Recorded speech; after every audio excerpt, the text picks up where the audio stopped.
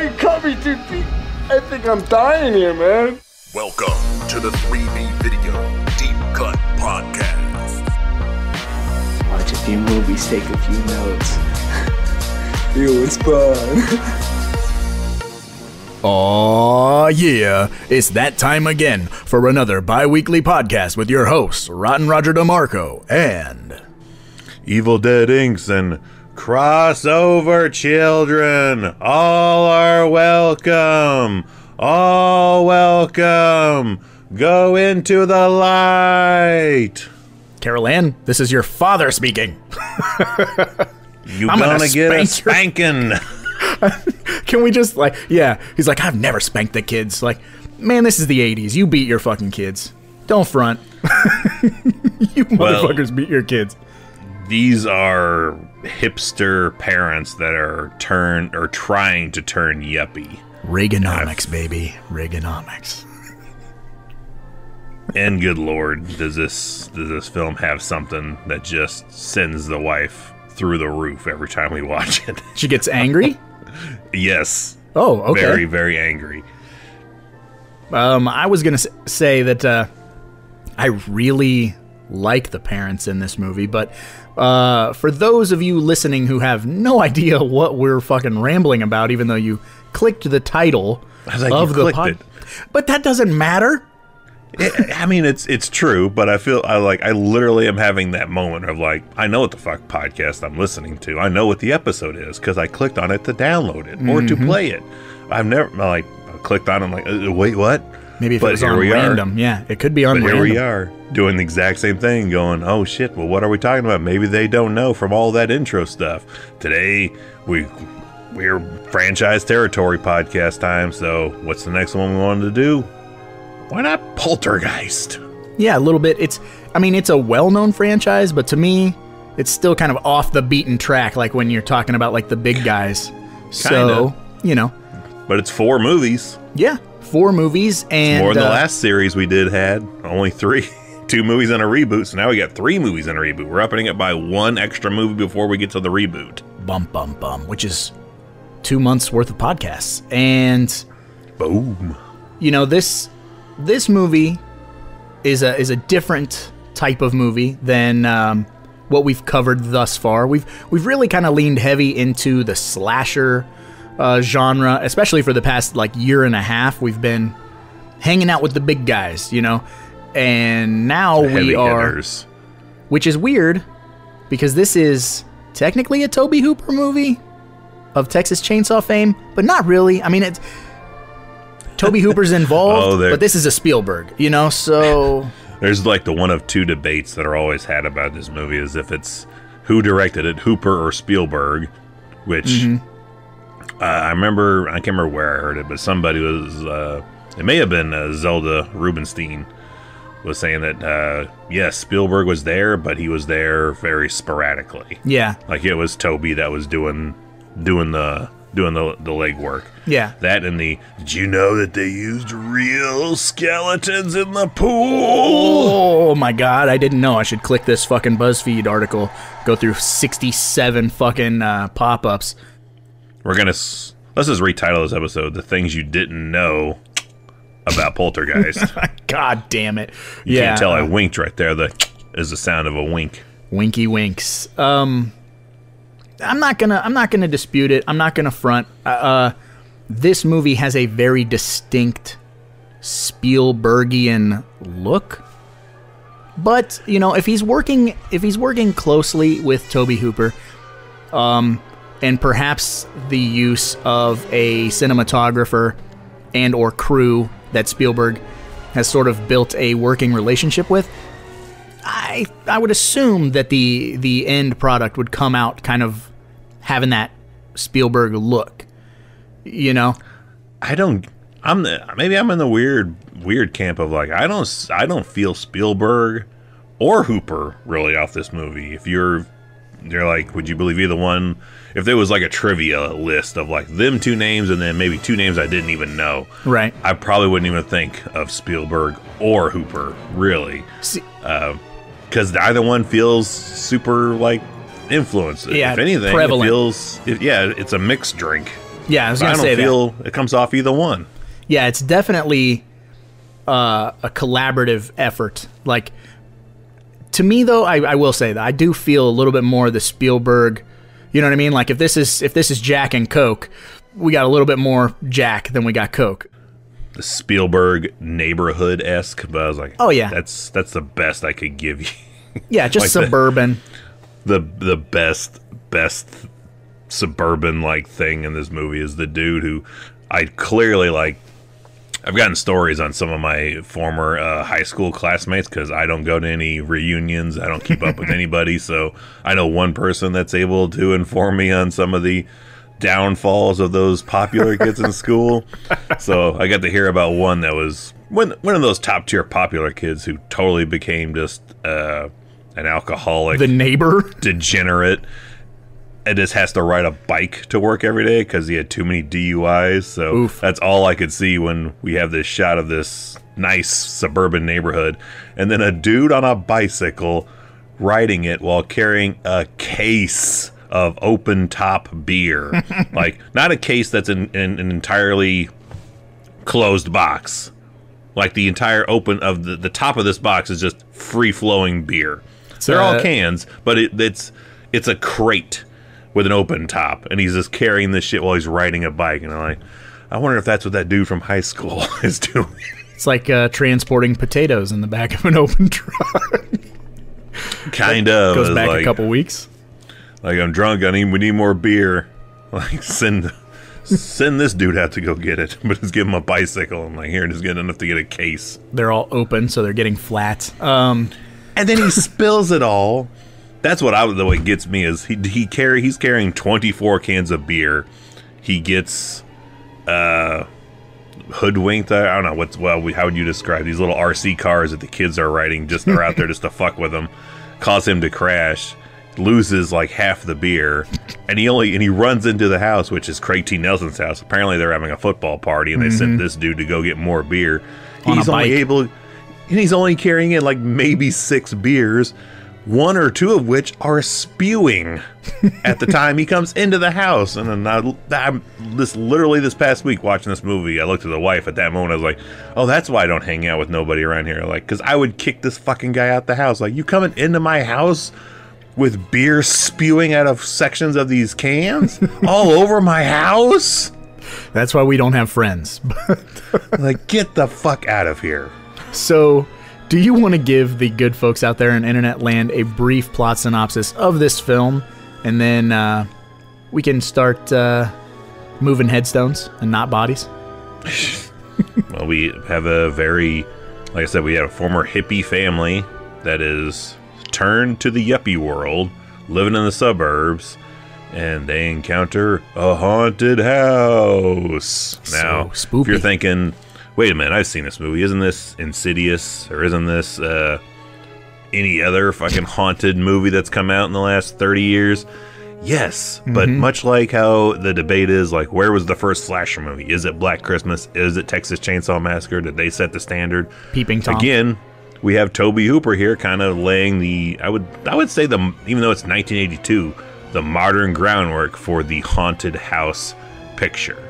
It's not until we get to the next couple of movies that we get more of a slasher icon face to this series. Right here, it is faceless.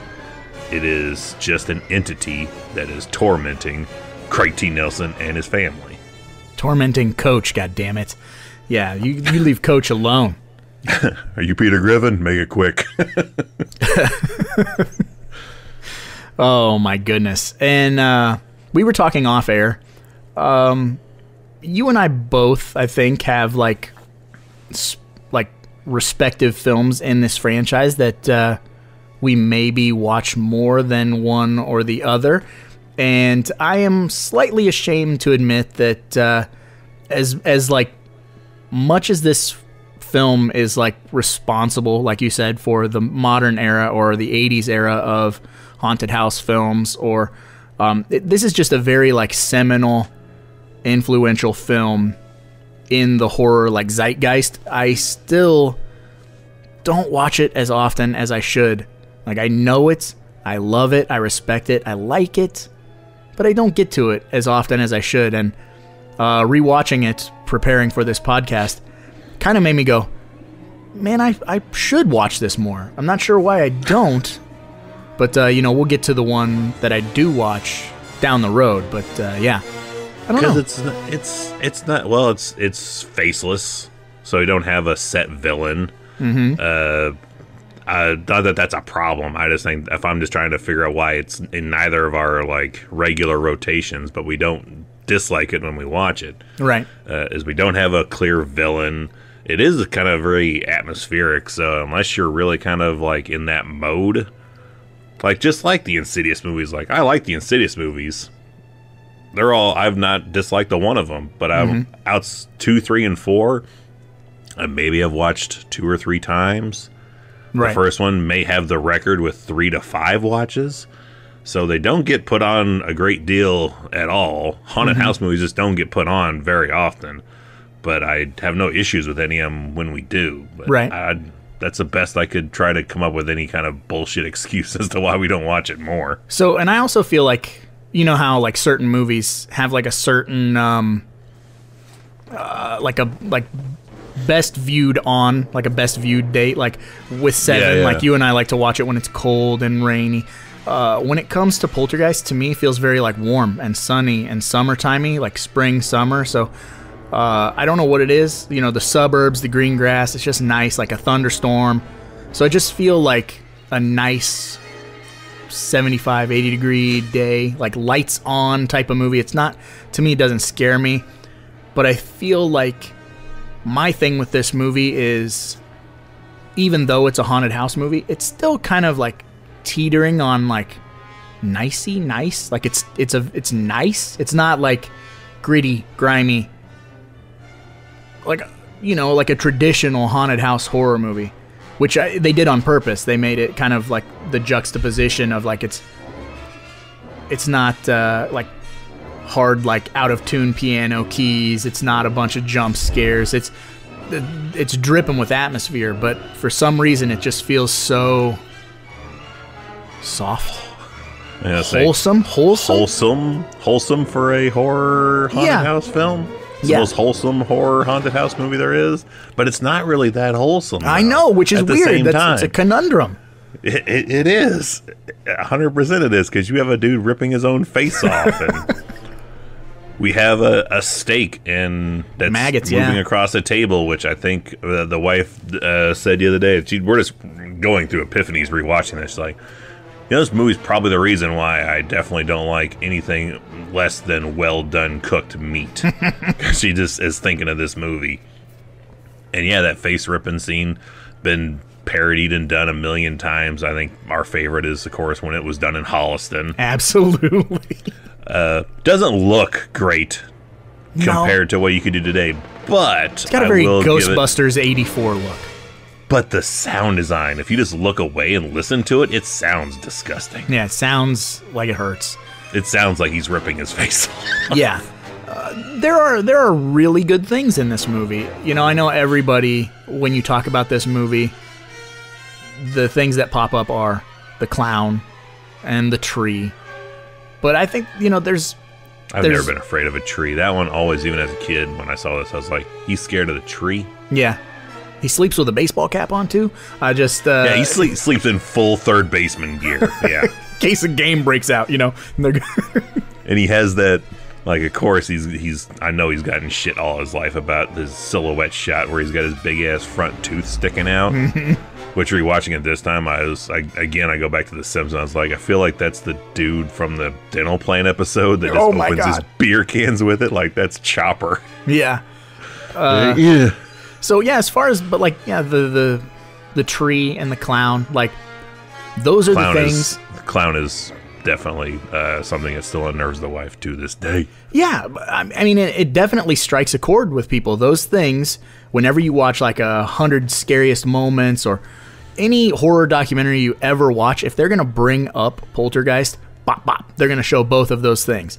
And there are other things in this movie, more subtle, that bother me, and uh, whether that be the the Spielberg shot, the Jaws shot, like showing the hallway to the room, and they make the hallway seem really long. You know, towards the end. Oh, that's when- fantastic. That's- uh, we we both were like, that's great, and uh, we were like, we even had that's even dreams that you have, like you're running to something you just can't. Doesn't feel like you're moving at all. Mm-hmm. That's a great great shot. I love that one. Makes your stomach queasy. Like that type of thing uh subconsciously, I don't know what it is. Like that to me is so fucking scary compared to, you know, uh, a tree grabbing you, yanking you out the window or whatever like things like that. The the uh, the underglow of the door. Yeah, like the underglow to the bedroom door, which again feels very Ghostbusters 84. That's super Ghostbusters. But yeah, beat it by two years. So Ghost, Mm-hmm. so so Ghostbusters, you'd be like, oh, that feels very Poltergeist. Exactly. Uh, but it's it's things like that, uh, opening up the bedroom door and you know all the stuff floating around, or all the stuff getting sucked into the closet. Things like that really bother me compared to the other things. And I think the best part of this movie for me is since the wife is. Uh, she's you know she's still very much clinging to like hippie you know she's reading like astrology books and she's really into all of these different things JoBeth Williams. yes gorgeous There's there's some yeah there's some things that uh, yeah looking at it at 39 year old eyes that before were not really a thing and uh, that was one of the first things I was like man JoBeth Williams looking good yeah she is attractive even but- with two gray st- two Heather Langenkamp gray streaks in Yeah. there I'm like man you could leave that shit in there and still look good feel like i haven't uh, slept for days but you look 20 years old to me I feel uh, Nightmare on Elm Street reference, deep cut. But like the fact that she's so like open and accepting of it, like when it first starts, you know, moving the chair across the floor, and she's like excited. You know what I mean? Um, she's that scares me because she's just willing to let it be like. And See, then and uh, we are the audience. We are Craig T. Nelson going. I'm not. No one's going in the kitchen until I know what the fuck that. Why? No. See, to- totally rewatching it, that's exactly what I was thinking. I was like, this, this is what Rod. This is what would happen if it was at Rod and Roger's house. Like, I totally see. Like, he comes home, his wife is one being like, "Look at this shit," and like, uh, your son's just like, "Ah, fine," and got a helmet on, just sliding across, just bored as shit with it by this point. You know, like, just describing it to you, and you're just like, "Get the fuck out of the kitchen." we are moving. Yeah, there's a gas leak. There's something. Goddamn cherry bomb. That's what it is. There's a gas leak. Something I smell on. gas. Even if your mother doesn't, I smell gas. Yeah. So, I mean, that type of stuff.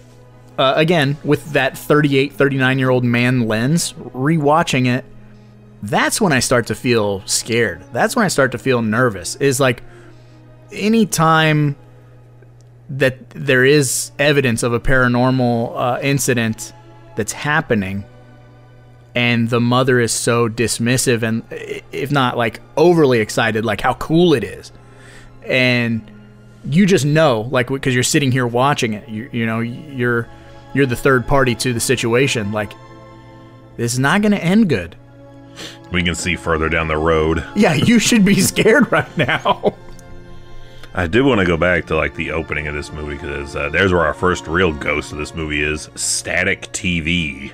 oh yeah which yeah that doesn't that doesn't really exist anymore i think you just get a blue screen when you lose a Yeah, signal now yeah, there. I, I, yeah, I think that could be that's that's a novelty now. That's what someone would use as a screensaver or a cover for their phone. Static, you know, as we used to call it, the Salt and Pepper Wars channel, Mm-hmm. Yeah. doesn't exist anymore. That is a that is the first ghost of this film is is seeing that because we don't have that anymore. no And I thought that opening was it was cool that we get the dog that just goes from room to room, establishing every character of the movie. And then I thought it was kind of strange that we have uh, Carol Anne, who's what she's gonna be five years old, She's four or five, just- yeah. Like just rolls down the steps and starts talking on the TV, and everybody wakes up and starts coming downstairs. I guess Craig T. Nelson is he's still on the couch, just crashed out inches Right. from it, and they're just staring at her. And I was like, this is kind of like it's a cool shot. But uh, I've also just recently I've been rewatching Freddy's Nightmares again to punish myself. I was like, this feels a little Freddy's Nightmares esque because like this is a cool shot, and I don't know what it means. And then we just cut away to the next day as if, all right. Yeah. Like I thought that was a weird. It's a weird way to open the movie. Not a bad way, but I was like, huh.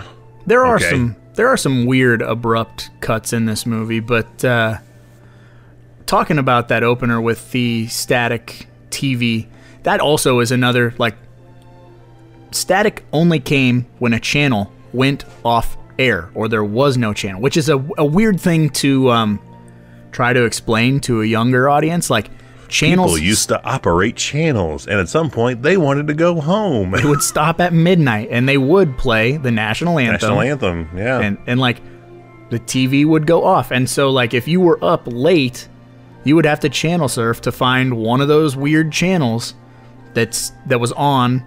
I mean, if it was a movie channel, obviously it was going to be on, but if it was like you had basic cable, the the the pickings Yeah. were slim after midnight for sure. Mm-hmm. You better hope you had HBO or Cinemax, because they're outside of that, you just gonna watch snow the rest of the night. yep. I miss snow. I'll be honest. I'm like, I watched it. I'm like, man, I kind of miss when shit would just end. But at the same point, like, the wife wouldn't be able to survive today if as channels actually ended and she wasn't able to watch some sort of streaming something on. Like, it's All night. unfathomable in 1982 to think you could watch unsolved mysteries around the clock every day, seven days a week, all hours of the day. Yeah. Can't even imagine that then. Like, this the parallels between 1982 and 2023 insane. Uh, but one thing, uh, and this is the thing that that sends the wife through the roof, and it's great because nobody apparently in her inner circle sees it because she actually recorded it when we watched it this past time on her phone, sent it to her friends like to get their reaction, and everyone was like, "I never noticed this before." But uh, if you are a uh, a weed smoker, it will you won't, won't not see it now. But when we get to the, the scene of JoBeth Williams and Craig T. Nelson hanging out on the bed, where Craig T. Nelson has his, his bare ass feet just laying on his own pillow, which I'm like, gross, but oh shit, I do that too sometimes. uh, hanging out, he's half ass reading a Reagan, Ronald Reagan book. Mm-hmm. But they're also smoking. And, and while he's smoking, he's just got just weed not on a tray. I know, it's all not on a plate. The, it's just all over the bed, just on the bedspread. Like they clearly got money, and I was like, they they just have money to fucking burn around here. They just they're just like just rolling joints willy nilly on the bed, and then stand walking over it when he gets out the bed. He just stands on it and walks over it barefoot, doesn't give a shit. And they got steaks uncovered in the fridge. Before, Just raw, after. just raw steaks on a plate. Just throw that shit in there. We don't care. Like we got, we can spend this kind of money on frivolous things all day. They're gonna cook that steak later. It was for later Yeah, today. yeah. Had to should we thaw it cover it? Should we? Yeah, should we do anything with it? Like, no, just open that shit raw and throw it on a plate. It's fine. but oh my gosh, their their weed etiquette just send if you're a, if you're a smoker, it will send you through the roof rewatching it, being like, especially in this time of uh, things going on, because like that is ex- like shit's expensive around here. So that's a couple hundred bucks probably he's got there just and just brushes it off the bed like, yeah, throw this shit on the ground. I'm gonna vacuum No it. big deal at all. Yeah. yeah. Don't even care. Savages. These people are savages. They get what's coming to them. Oh Jesus Christ! I there was one other thing that I had never noticed, and this again, it's gonna point out how little I watch this movie. To be honest with you, um, you know, we're introduced to this neighborhood with this really cool aerial shot, which is uh, partially practical. Then the other half is matte painting of the rest of the town, I believe. But uh, these are all new housing developments, and they're they're being built. New new sections are being built, and Craig T. Nelson is a real estate agent, and we I've and again this I've never noticed this, and I don't know why. Like we go from a shot inside of Craig T. Nelson's family home in their kitchen, and we cut immediately to a house that Craig T. Nelson is selling or trying to sell, and the layout is identical. Like it's Suburbs. yeah, it's literally identical. It's from kitchen to kitchen, Yeah. and pop. And I, like this week when watching it, I'm like, oh, like I get it. Like I don't know why it had never clicked. Like, because then the the guy that they're showing the house to is like, I can't tell these houses apart, to be honest with you. And you know, Craig T. Nelson does his sales pitch. Yeah, you know, uh, uh, you're probably right, but we do have a guy who did this once. You know, like blah blah blah. Like, you can make it your own, even though it looks just like every other fucking house on this street. So, like, I, I don't, I don't know if Craig T. Nelson's a good. Like, I just can't picture him as a salesman. like, maybe used cars. Like maybe Bill Paxton's character from True Lies. I could see him doing that. Like super shady, like garbage, like glue and tape held together vehicles. But I can't picture him like selling me a house. Uh, the 80s, man. They were a different time. He'd probably, you know, show you around the house and then cut you a big fat rail of cocaine that you can. He's just gonna brush on the floor when he, yeah. He's just gonna hold it in his palm, like in his hand, like not through like a coke nail, like an infamous coke nail on your pinky, or nothing, just in the little palm of his hand, curled up, just, and then he's just gonna. no, that's what he'll do. He'll just blow that shit in your face, like, all right, inhale in three, two, one. Yeah, you got the Did you Craig, get some? got the Craig T. Nelson special. Isn't he doing that? Sh- isn't he doing rails of coke in Action Jackson? It's been a hot minute since I watched Action Jackson. All I really remember from Action Jackson Jackson is uh, seeing Vanity nude because I didn't know that was a thing. I was like, Yeah. what? Uh, which totally caught me off and guard. Sharon Stone. Yeah. Um, but we haven't talked about one of the best character actors of all time who kind of weasels his way into this movie and becomes essentially the catalyst for it all. I mean, uh, playing the same. He's he's got the same name. Good old James Karen stepping Playing in. Frank again. He's just forever Frank. So clearly, after this real estate gig fell through, he just had to get a regular Joe job at a medical supply factory at another out of state. in so, Louisville, yeah. had to move to Louisville, Kentucky, to get a job there because he's his reputation shot here in here in the California suburbs. yeah, uh, Not enough of him in it. No. like at the time, like if you if you're unaware of his work in Return of the Living Dead, which that's definitely a franchise I look forward to one part and not the rest. Right. when we get to that series, but. If you don't know him, you're not going to really miss him too much. But if you've seen his work in Return of the Living Dead, you're like, "Oh my gosh, why didn't we get more of more of him?" Yeah. The little bit we get is fantastic. Like, oh, what kind of watt, wattage bulb you got in this thing out here? like, just, th- I mean, that's where it's borderline. It's it's like a sitcom where Yeah. Craig T. Nelson is trying to hide. Like, I don't even know why he's trying to hide the fact that this place is super haunted for a hot minute from him. And other times they're like, they got that room upstairs. That's just going. It's just alive. Yeah, the room is just like alive. Uh, my favorite sequence in this whole fucking movie is uh, when they decide to go ask the neighbor if he's having any uh, disturbances. But I feel like there's something on the like there is something on the cutting room floor, and that's what I was talking about with the. Is it the, poison poison ivy or whatever he gets into? Like, There's an edit. because I was watching it and they go they go over there and then I see like JoBeth Williams like slap her side of her face like a bug. Yeah, on they got or something. mosquitoes. Yeah.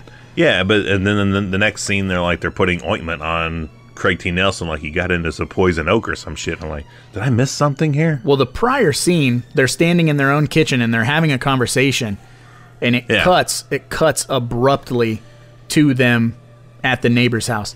There's some stuff missing there, and I I can't remember what it was that they had to cut out. They had to they had to trim it because something happens in that scene that they had previously like referenced, but they had also removed. So it, it resulted in Oh, like a really weird jar, jarring cut. And even though I don't watch this movie often, when I was rewatching it, I was like, Jesus Christ, that cut like it's almost like in the middle like they they're in the middle of a conversation and we get like one or two frames of the next shot.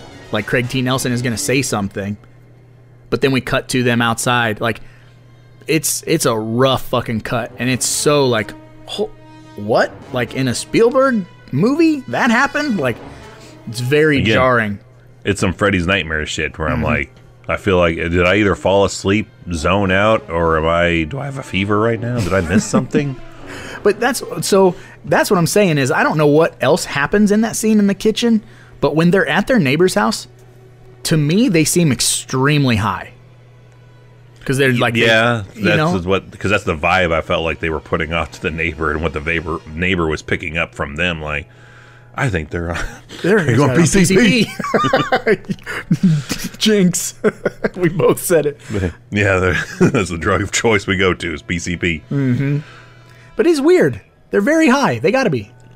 I, I mean, they. I mean, if nothing else, Craig T. Nelson looks like he that dude has not slept. Like he should have been in an Elm Street movie because he looks legitimately like he has not slept in days. Yeah. Heather Langenkamp still looked like a million bucks after a week. Craig T. Nelson's on like day four, and he looks like he's literally dying. Yeah. But of course, I mean, how could you sleep when they go when when the paranormal investigators from the college finally show up and they take him up to this room where shit is going on nonstop? I'm like, how the fuck could you sleep? It's like a circus going on around the clock in there. There's Which- literally like a little horse with an incredible Hulk riding it. There's shit banging around, is rotating in a circle. Like, imagine sleeping below that, or just down the hall from that. You couldn't do it.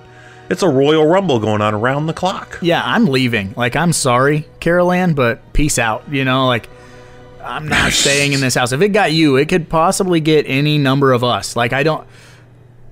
I don't know, man. Like, I'd come back when I got paranormal investigators. I would not be in there waiting for paranormal investigators at all. Which I mean, what do they really do Set up aside from like?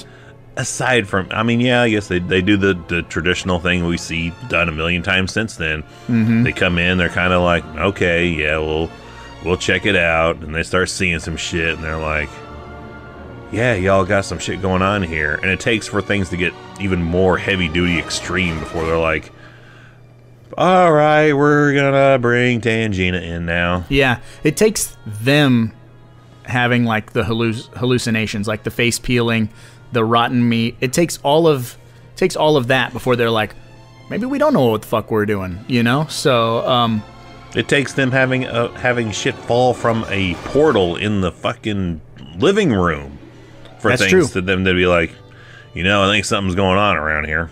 Mm-hmm. that's when they Something's a start little to fishy. Determine like if there's a way out, there's a way in, which they should have immediately deduced that because she got I wouldn't have deduced that. I've been like, I would have just been just as confused, being like, I, Well, if I- Carol Anne went somewhere, she had to. There had to be a way in.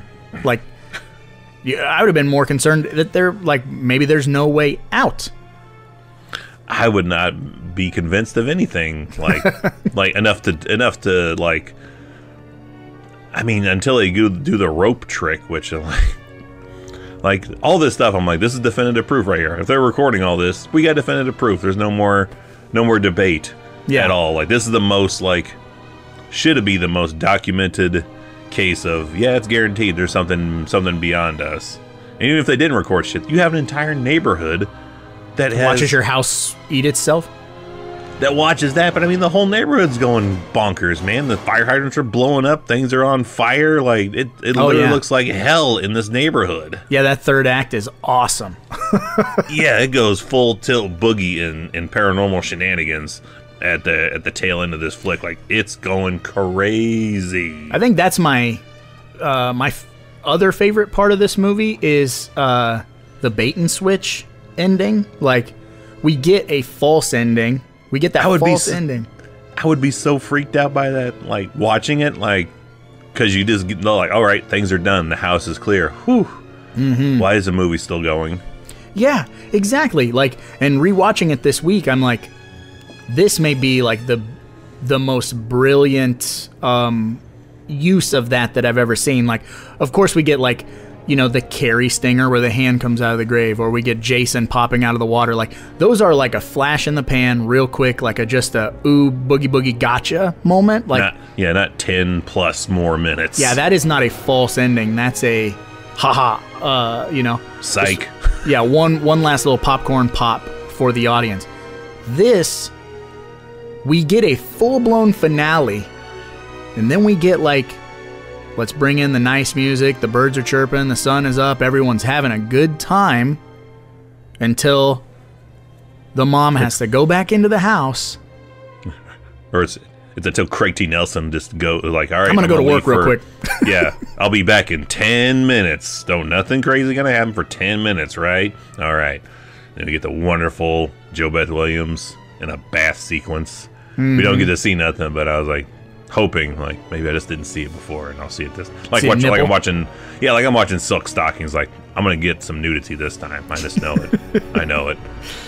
But even just her and her uh her underwear and a shirt like ah, that's good enough. It's still pretty good. Yeah, not bad. And then the most, then my frustrating scene of Robbie's going to sleep and that goddamn clown. They've packed the entire house pretty much. Except but the one clown. thing he didn't pack is the goddamn clown at the end of his bed. That is bullshit. That'd be the first fucking thing I throw in a box. Throw in a box, by the way. or I don't burn need in the anymore. backyard. Yeah, Drop accidentally because it's porcelain, I believe.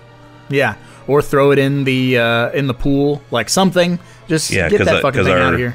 because our good our good buddy and former guest on the podcast, Sean Clark, is the one that is in possession of that, and that's his most prized piece is that poltergeist clown he has in a glass case. I remember him saying like, "Yeah, it's really fragile and glass." I think so. Mm-hmm. Just bust that shit up, pack it away. The fact that that's the only thing left in this whole place, sitting in a chair at the end of your bed that you didn't pack yet, False. Yeah, it's on, it's on, You're it's on bad, you, Robbie. Yeah, you're a bad kid who's afraid of that thing. Like if I was afraid of that thing, it would not be in my fucking room at all ever. Yeah. it's like the Exorcist poster that you that we've talked about that you had. I used to have yeah on my bathroom door. Yeah, Yeah, that's the equivalent right there. You're like, hmm, maybe I'll just take this down now. I would just I leave my go. bathroom door open so I wouldn't have to see it. I don't want to see it. Don't want to deal with it. Yeah, no, no, no, no, no, no, no, no, no, no. Yep. So the fact that clown's still sitting there, I'm just like, this fucking kid gets what he deserves at this point. Yeah, no shit. But I do, I love that last 20, 30 minutes of the movie. Because uh, it is important to note that this is not like your traditional movie does not end at an hour and a half. Um, it's, is it two hours or is it just uh, a hair under two hours?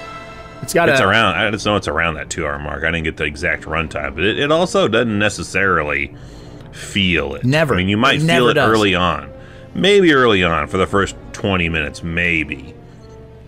But if you've not seen this before, even if you've seen it once or two, once or twice, it does not feel like uh, it drags no, at all. It doesn't.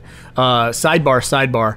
I went and watched the new John Wick last night, and that is a three hour movie that feels every bit of a three hour movie. It feels so long. Decent, decent, fun movie, but it feels long. This is a borderline two hour movie that goes by pretty quick. And I think that also has to do with, like I said, it has that, uh, it's not cute, but you know what I'm trying to say, like a, a clean. A- wholesomeness. whole, the wholesomeness of it makes it go by pretty quickly. Because like you never have like, um, those big heavy, uh, like insidious type moments. Like we have some scary stuff, but it all still feels so light. Like you're not like ramping up in adrenaline and you know like getting all gassed up and then settling down and getting gassed up and settling down. It's all it's a pretty mellow two hours, so it, it, it doesn't hurt. like you're high. Like Yeah, you just man. smoked a fatty that you rolled at the end of your king size bed. then you jumped on your bed and Yeah, uh, jumped on the bed to imitate a diving scene barefoot and just took your kid willy nilly back to put them to bed so you can get back to smoking your J in the bedroom like adults do. Yeah, like all suburban adults do. Yes. oh my goodness. I'm trying to think uh anything else in this movie that uh I mean, we could always briefly discuss the elephant, I'm sure, in the room of people waiting if they've, if they're new to this entire series or new to us in general, but fans of the series. What do you want to? What do you want to talk about? Hmm. Everybody wants to know what we think about the supposed curse. Is the movie cursed? I'll just both that before pref before prefacing with anything else. Like, do you do you believe there's a curse on this movie and or franchise? I don't, man. I think uh bad things happen. And uh I don't think it is cursed either. I think yeah, it's, it's a shit coincidence. you got 120 people on a crew making a movie. So, and every single one of those people have their own individual lives and individual people in their lives, families, etc. You're bound to find some tragedy if you look hard enough, you know. Yeah. Oh, There's. I'm not saying the other movies. yeah, like 60 out of 120 people who worked on this movie's moms died of cancer. Coincidence?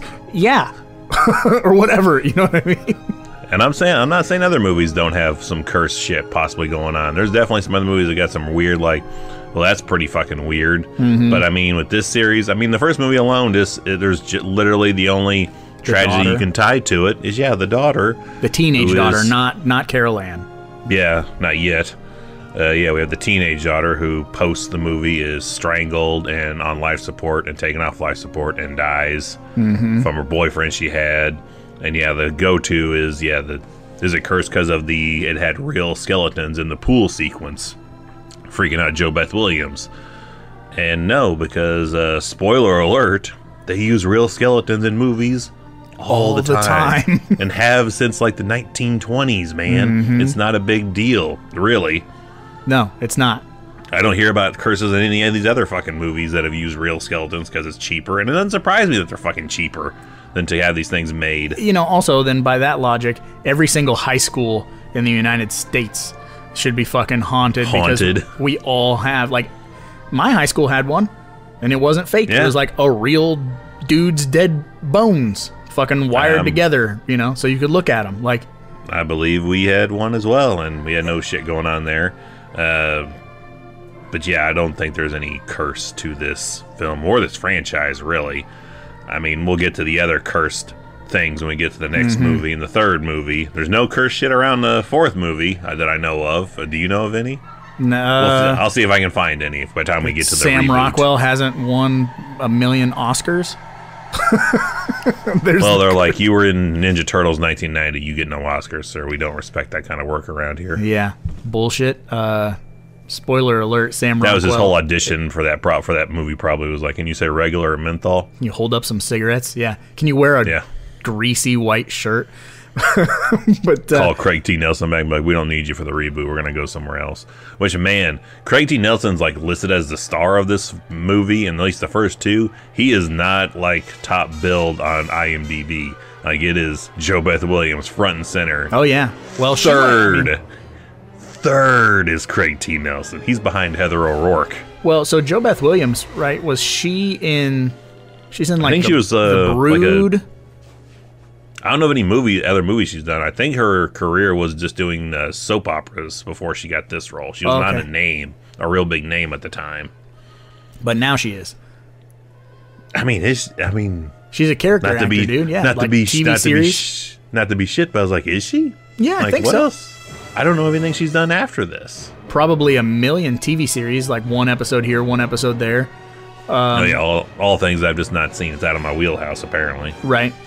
But uh, yeah, I, I I I love Sam Rockwell. That's that's where I was going. It's just I fucking like I just think Sam Rockwell is the goddamn man, and I think that was the catalyst which made me like the reboot so much. Is he can do no wrong in my eyes, but uh, I have not seen the reboot. Uh, the wife had seen it on Ambien, so and yeah, she doesn't gonna- remember. She doesn't remember a great deal of it, so it'll be a new experience for the both of us when we get It's to that fun. movie. It's a very fun uh, modern take on Poltergeist, which bombed. I think. I think a lot of people didn't like it, but we'll get to that Yeah. in a few weeks. Um, Which remake hasn't done that? Really, in this in this day and age, has any remake been successful? All right, yeah. Been a hot minute. Yeah, been a hot minute. I don't think don't think of one. Um, we haven't really discussed her at all, other than the fact that she did have an untimely death in like making these films. But uh, the actress who plays Carol Anne uh, is amazing. I don't like to throw around amazing too often when it comes to like a child actor. She's pretty fucking rad. There are They're a couple few and far between. yeah, and uh, there are a few times, especially in the finale of the film, she spikes the lens. You know, she's she's a five year old kid. She's looking directly at the camera a couple times, but like, she's got a good dead stare. And you yeah, but you can't help but just fall in love with this kid. It's it's a hard thing to explain. Like, perfect way I could sum that up. That I may jump in and try to assist you there is her bird dies. JoBeth Williams is going to flush it down the toilet. Heather O'Rourke catches her. So they go and do the full burial thing, which just had to do this recently myself. Uh, so it, it hit worse than normal. But putting in the whole like in case he's hungry in the box, like so he doesn't forget about us. Oh Jesus. Mm-hmm. Oh, this is heavy to do heavy duty stuff right now, and then burying it and like tears down the eyes, like burying it. But just like just how kids are just so resilient, like that that thing is not buried for more than three seconds. You're like, I get a fish now? Yep, exactly. Like they just the kids can just bounce the fuck back from that shit so much better than we can. We're just in our old ways. Nostalgia has just ta- ta- tainted us so much that it's just gonna like I'm still getting over uh, what I've had uh, the pet we've had to put down recently, and it's been a couple weeks. This kid was not even a full minute. And like, what's next? yeah. What's my next pet? Perfect, and not like it doesn't doesn't come off snotty or shitty. Like totally like she's like Innocent. Yes, hundred percent.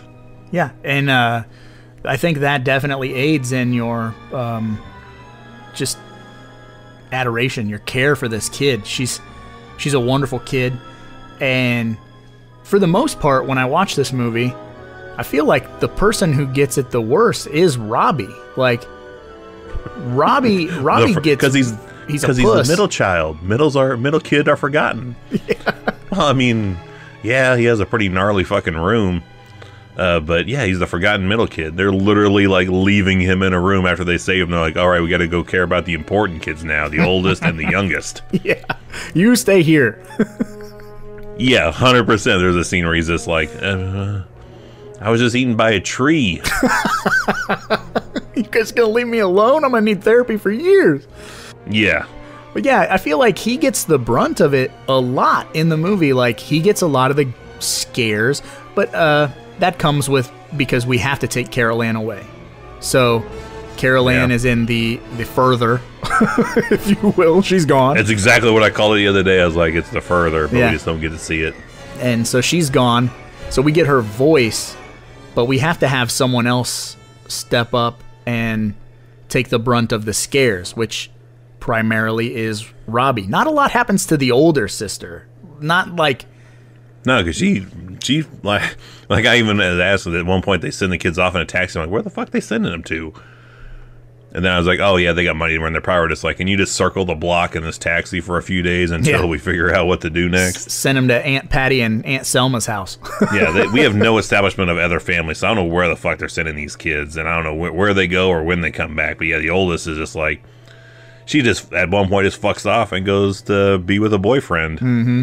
and totally makes like like it's subtle shit like they reference the Holiday Inn, and she's like, oh, I know where that is. How the fuck do you know where that is? Mm-hmm. And then when she makes her big return at the end of the movie, she was supposed to go hang out with friends, got a big ass gigantic hickey on the side of her neck. I'm like, jeez. Wife looked, literally the shit the wife turned to me. She goes, "The oldest daughter, she a hoe." no wonder you got murdered in your driveway. Uh, Jesus, that I got dark quick. I was just, I was just like, well, she's just a teenager with hipster parents, man. Like, mom doesn't even bat an eye. She laughs when she is getting hit on by construction workers. She flips them off, but Mm-hmm. the, but JoBeth Williams inside is like, oh shit, she'll take care of those guys. Not take care of those guys, Yeah, but take care of those guys. That's the poltergeist porn parody. Fuck those construction guys too, man. What the hell are they do? They take way too long to make a pool. Mm-hmm. And one dude is just grabbing shit off the fucking counter with the window open. Yeah. I'm, like, I'm not paying you for this. Like, you are fired. You are fired. These are what pool guys are doing in this day and age. They're taking three years to get a pool made. These guys just fucking off. Yeah. We dug a hole, and then enough. Now we're gonna take a break. You got any cold beer? Oh, good God. But all that being said, we did enjoy Poltergeist. It is a good film. We don't think it's cursed. Mm-mm. But I mean, you can't listen to what our opinion is. We got to give everything a fair shake. So let's let's look at the dark side of things. Let's let's look at where these uh, bodies ended up, possibly. These one star reviews.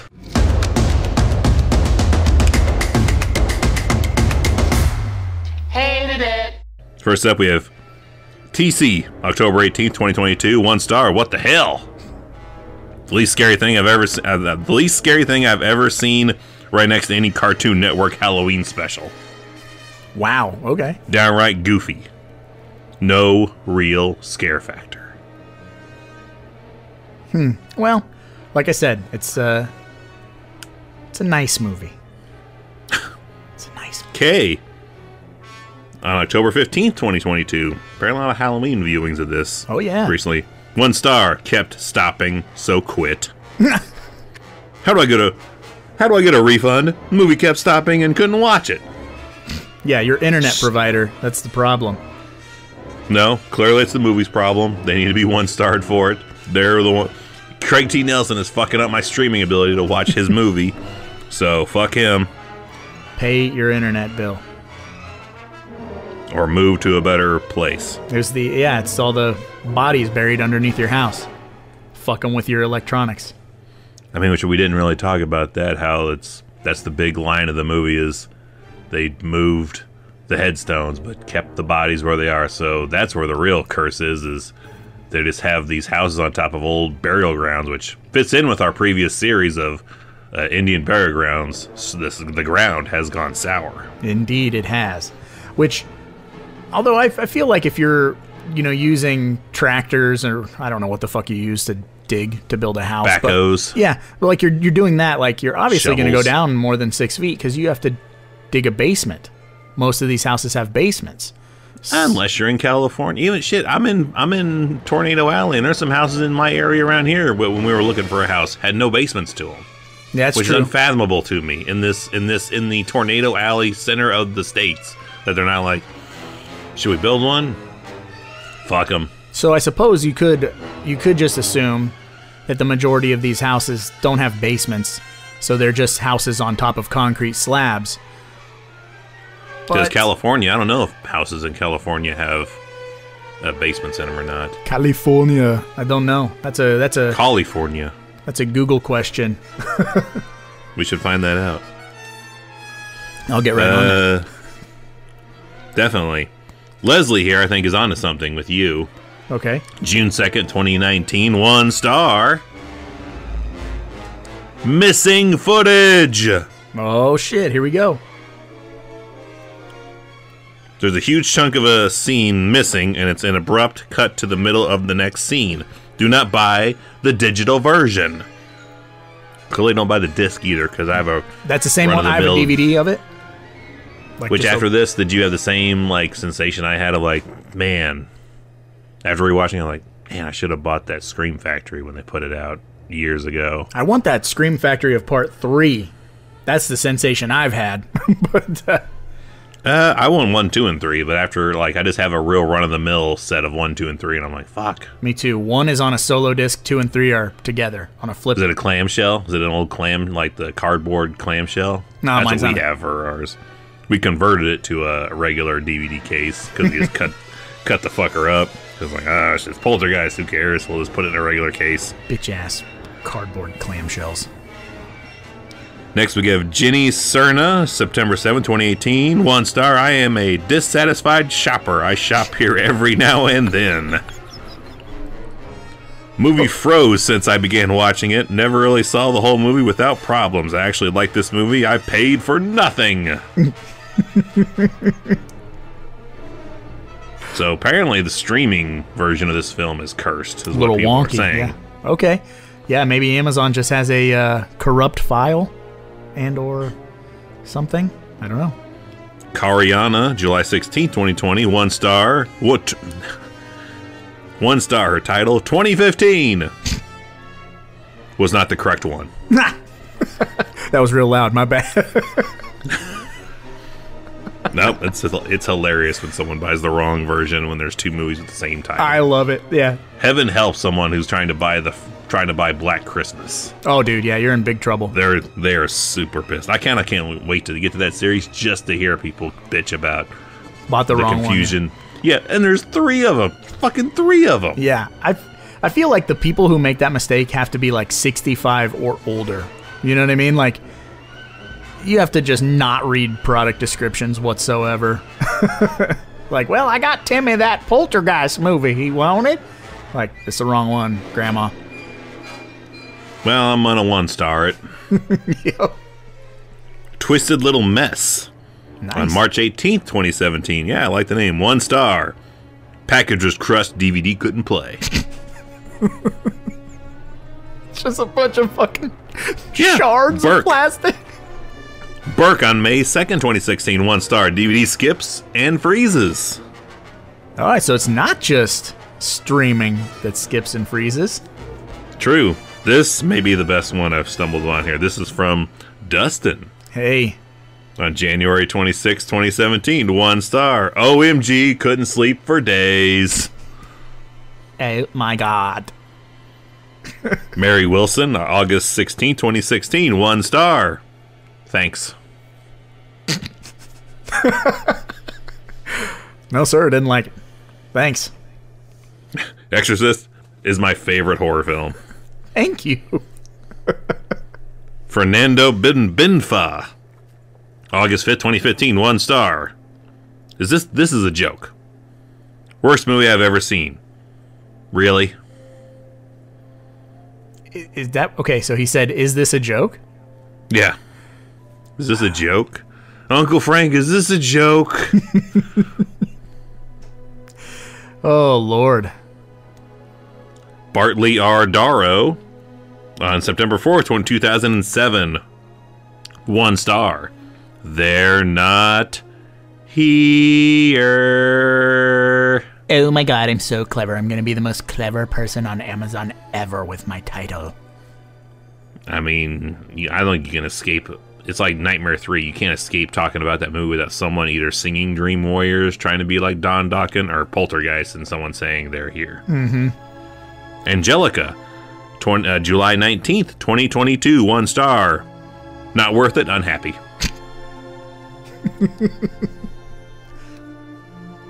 Tried to send it back.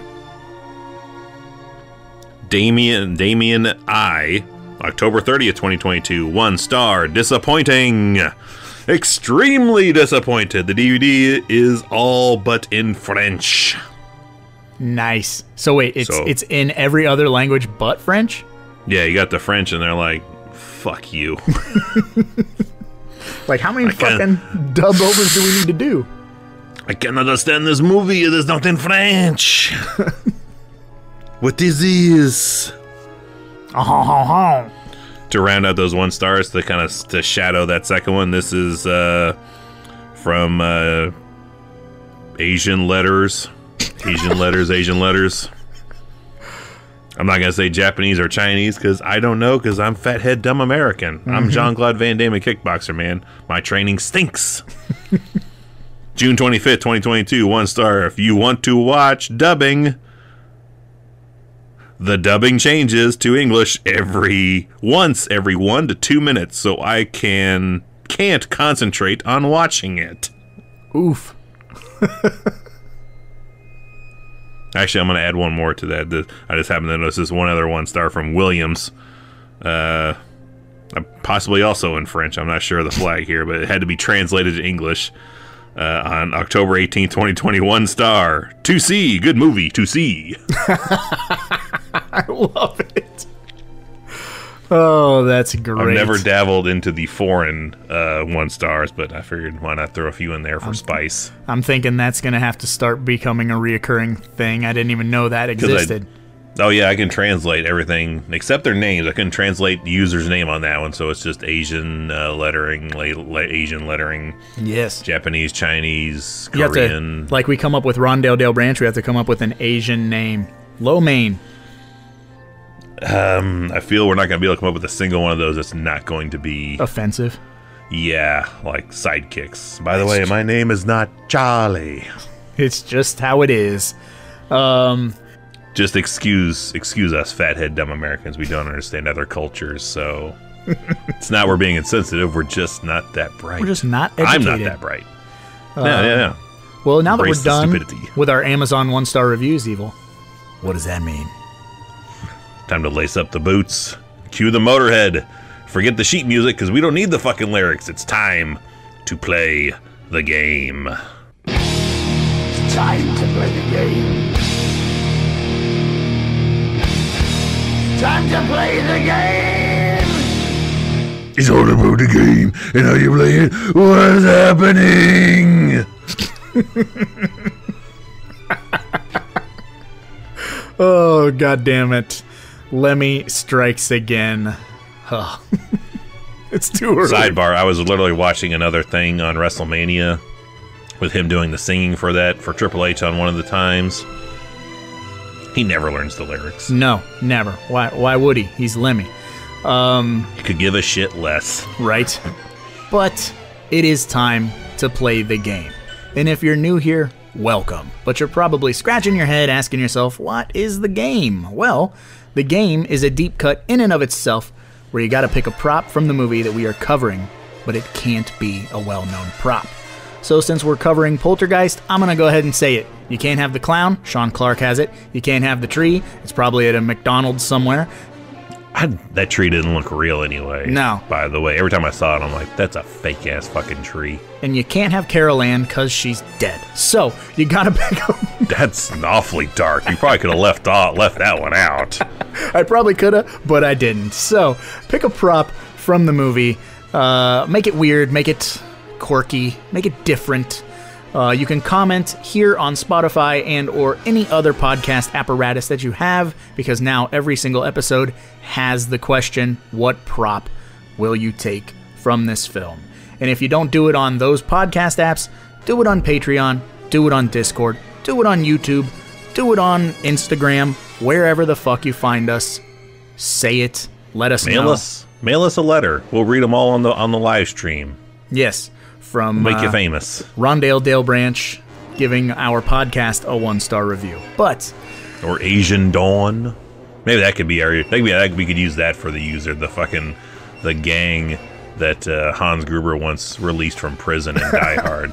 Asian Dawn. I read about them in Time magazine. yes, uh, yippee ki motherfucker. Motherfucker. um, All right, evil. So I think I'll go first this week. All right, If- I'm if curious. with that. Curious. I'm super curious what you go with. Okay, so admittedly, again, not the most well versed in this film. So Neither am I. have recently rewatched this film uh, to to get it reacquainted with my brain, and I think uh, the prop I'm gonna have to pick is from one of one of my one of the only scenes I suppose that truly truly sticks out to me because I think it's uh, every bit of movie magic that I've ever seen uh, and just exquisite timing. So what I'm gonna take is one of, if not all of the chairs in the kitchen, perhaps in Oh, the uh, pyramid. Which we didn't talk about, but that is an incredible. I'm sure a painstaking scene because that's in one shot. That is one shot, no cuts. and that would be a pain in the dick. Even if you're moving a glued set of chairs together.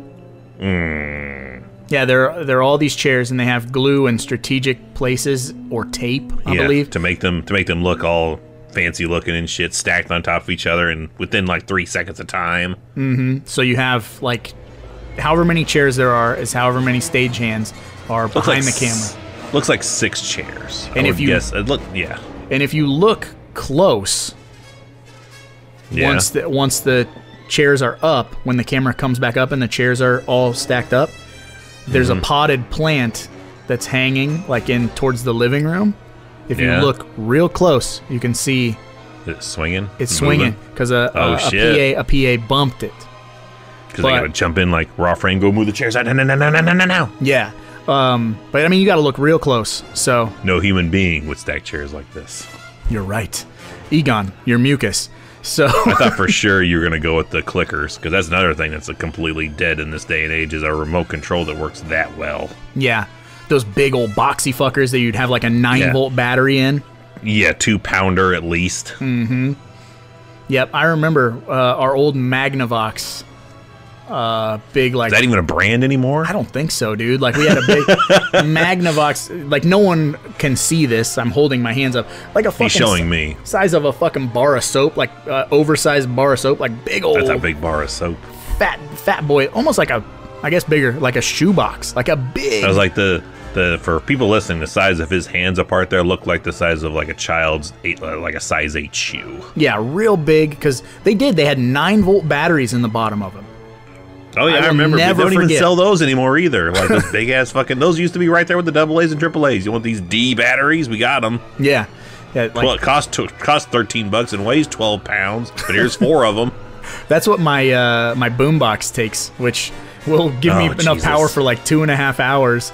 But that's Let's like put fresh batteries in the damn thing this morning. sixty dollars worth of fucking batteries. But Batteries used to be just an insane thing we had to budget into our and blank tapes. our lifestyle. Yeah, now it's yeah, the blank tapes, both audio and video. Now it's just it's not a it's an, it's, that's another ghost. Mm-hmm. No one deals with that anymore. Throwaway batteries are almost dead entirely as a as a concept. True. Uh, before you move on to your uh, deep cut prop, evil, Yes. we did forget. We have been technically forgetting the Brown Panty Award. No one necessarily dies in this movie. I every once in a while I think like, oh yeah, we keep forgetting to do that. But I was like, has anyone died I felt bad for? I guess not. Yeah, and no one really dies in this movie. Except I guess if we were had to give it to one, I'd say I'd give it to the Native Americans. So the Yeah. Native Americans win the brown panty. Yeah, well, you know, yeah. Uh, we're gonna pick up uh, trash on the freeway with a single tear. So That's an Italian. That, that's an Italian man that just got granted Native American powers. So yeah, sorry for forgetting the uh, Brown Panty Award for a few weekends or weeks. I'm gonna. I'm gonna say we didn't forget. We just didn't find anyone really worthy of it. Sounds better. Okay, yeah. So, all right. I, I didn't mean to interrupt. oh no, no, no, no. Uh, that was another thing that needed to be addressed at some point. Like, did they just forget about? Oh, they just don't feel bad about anybody right now. Okay. uh, I had to. I had to fight to not go super pervy, wanting something from JoBeth Williams' uh, Underwear. wardrobe. yeah, so I was like, oh, I'll go a bit more, much like this movie. I'm gonna think R-rated, but I'm gonna my prop will be G-rated. So uh, I'll take her hair dye that she decides to gray out her streaks in. Nice. Totally thought you were gonna take that fucking cigar box full of weed. A cigar box full of a dead bird, which man, even that's another thing. Like, who has cigar boxes anymore? A new cigar box. I'm sure they're still out there, but man, I mean, shit. I've only seen one in my lifetime, yeah. and So I still have it. so here's the thing about cigar boxes. Uh, for anyone, Oh, give me the four one one. I'm glad you got you got some info. Uh, this. is this is just a weird thing from my life. Like, so you have seen a cigar box. You own a cigar box. Like it's it's like that Yeah. thick cardboard, that hard fucking cardboard. Okay, It's literally the "It's a Boy" cigars that when I was born, my dad got, and I still have, and there's still cigars in it. So Damn. we could smoke some cigars. let's do it. some shit cigar. Let's do it. I'll smoke a cigar with year you. of birth. Yeah, why Yeah, not? We'll like do men. that for a live show. Yeah, like, like a couple of men. But uh, this is a weird thing. Now that you've fucking brought up cigar boxes that unlock this weird uh, memory in my brain, uh, my grandma, my mom's mom, I would always go over to her house. And so you know how like grandmas would always have like that cookie tin, but it would always be like sewing Oh stuff. yes, hundred So, percent. My Still grandma also always had cigar boxes. Like not like one or two or three, like a fucking plethora of cigar boxes. So it would be cigar boxes that would have some of her like knitting or sewing or some would have like buttons. some would have like screws, but she also Oh, had yep. she also had empty ones. That like if I would be like, You "Hey, could use for those such things. Yeah, don't throw that away. We could use it. she would give me. She'd be like, "You can take this cigar box." Did she also? Did she also have something that my dad would constantly have? Either jars or mainly uh, the metal uh, like Folgers coffee cans. Oh yeah. filled with like screws. Yeah, and they're all rusty. yes. Oh fucking! yes. You have like a very specific smell. Yes, I miss that smell. yeah, me too. I hated it then. Yeah, no, I'm I'm I'm with you. I miss it, but so here's the deal. Like she would, and I'm talking probably once every month. Like you know, my grandma would be like, "You can have one of them," like because I'd use it for like a piggy bank. I'd put my spare money in it, or like, "Oh, I want to put all my my GI Joe's guns or whatever." You know, like I'd have these boxes, And that just made me think I have never, not once, my grandma has never smoked. I never saw my grandma smoke a cigarette and or a fucking cigar, but she had 20 fucking cigar boxes. Who They're was like smoking these cigars? then, Uh, probably someone she knew, and they're like, "I'll trade you these four cigar boxes for a blanket." And they're like, "Deal. I can put shit in those boxes." It's it's that's fucking weird. It's a like form of currency. Yeah, where did these come from? I'll never know. I might have to ask my mom. Like, I might just call my mom later and be like, "So, who the fuck smoked cigars in our family?" Because that's It was me, son. It was me. She's like, "It was me." yeah. Liar, liar. It was me. that deep voice. Yeah, no, that just fucking trips me out. So, Same, because yeah, we had some around too, in other er, other places in the house, and yeah, I would say probably four or five total that I've seen. No idea who ever was using those. Why? Yeah. Maybe no. I, I can actually place it. No, I think on my mom's side, Grandpa he did used to smoke cigars because my mom used to say she would get sick of the car from smelling it because he would do it that wi- with- in the car with the windows up and shit. Oh, okay. And you know, back in that time frame, they're like, "Oh, that's my smoking has nothing to do with you feeling sick. Like that's that's that's bull hockey. That ain't real. That's not that ain't no science. Like things it- you know, it's real. things things yeah, things you know now that sounds super ridiculous if you think of that was not a thing then, but it was. Also, let me sidebar sidebar with the cigarette smoke and the cigar smoke. oh, um, Jesus My mom is like, she's the opposite of a hoarder. Like, my mom gets rid of everything. Don't want it. yeah, she buys things for us. Like she buys things and Oh, brings them yeah. to us, right? Like constant. It's like a here I was I saw this and thought of you. And Yep. she, she's on this kick right now where it's constantly like garbage bags full of clothes because she'll like clothes will be on clearance and I I know you're like Tyson can use these pants or Jasmine would like this sweater or you guys like Future socks. buying. Yeah. Yeah. So she buys all this shit and then brings it over, and she always, always is like, "You don't need to wash those. I've already washed them." You know, like I, I ran them through my washer and dryer. They're all clean. You can just put them Hundred away. That's some mom shit. And you know what's even weirder and scarier is the wife is starting to turn into that with like shit. The girls around my house, like if they've outgrown, she will pre-wash those and put them in a bag and be like, "You can sift through this." The you Yeah. know people that come by and stuff. No cigar boxes yet though, but definitely with clothes, she'll pre-wash that shit and give it away. So, but that's the thing with the cigarette smoke is my mom will wash and dry them and be like, "Yeah, they're fine." Like you don't need to rewash them, and then she'll leave, and you open up that bag, and it just smells like fucking Marlboros, and you're like, "Ah." Because they can't smell it. They're they're in they're they're they're numb to it. Yeah, So, so we gotta wash 100%. these. We gotta wash these hand-me-down clothes like two or three times just to get that like Like- tobacco tar. doesn't smell like anything to me. Mm-hmm. Maybe it must be your upper lip, son. It's, it's hardcore. Like she'll bring donuts, like that she, you know, and she'll be like, "I thought maybe you guys would want these donuts. I bought them and didn't eat any of them." Mm. And you open the donuts and they smell like cigarettes, and you're like, ah, Mm, probably, carcinogen donuts. I'm probably in. not gonna do that. I'm not, you know, I love you, but I'm not trying to get cancer off of this glazed donut. I've not that I not that it smells like smoke, but I've also just tossed some food my mom has given me, like in happenstance. Like, oh, I just came by for this. Like, here, take this and this and this and this, and I'm like, I'm never gonna eat some of this stuff. And I'm like, oh, yes, it was delicious. Yeah. Or I'll half truth and be like, ah, I left it out and forgot to put it in the fridge. I was in such a hurry, I had to throw it out. Next time though, I'll definitely 100% eat those scallops you gave me that were completely open on one end and were sitting in your truck for I don't know how long. And you're like, here, you can cook these up. These are good. Yeah. Like, yep, I bet they are. Uh, Please yeah. don't ask me about them later. yeah, uh, moms, dude. They have a love, just like JoBeth Williams would not leave this house for without Carol mm-hmm. Anne. um, but I suppose on that note, after dragging my mom through the fucking coals a We just did our both our moms, but you know what's great is neither one are going to listen to our podcast because neither one really are into that kind of technology. So we're kind of free in that sense. My mom doesn't even know what a podcast is, but Mine has one with our shit on her jacket, and she still doesn't know, really understand it. I love she has a Deep deep Cut cut podcast. podcast. jacket. Yeah, I love it. What is it? I don't know. My son does it. oh, it's so good. On that note, I suppose we should probably get going because, after all, there's a lot of podcasts out there to record that our moms won't listen to. So why not us do it? Or that didn't come off as well as I wanted it to. Take two. Do a take two. Here, a cut. Take two. Because uh, after all, there's a lot of movies out there, and somebody's got to watch. So why not us, right? I got beat up once by three kids. Took my lunch money. They got hit by a truck, and they're upstairs right now.